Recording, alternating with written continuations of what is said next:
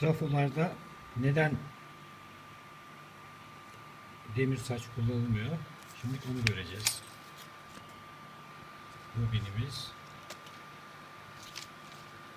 zarar görmesin diye araya bir kağıt parçası koyuyorum.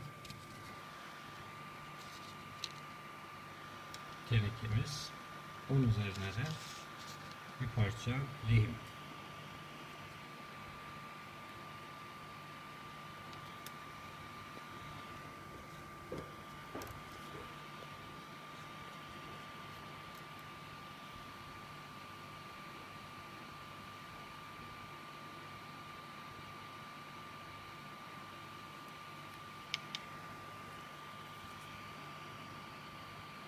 Trafo kullanırız. Trafoda demir saç kullanırsak işte böyle oluyor.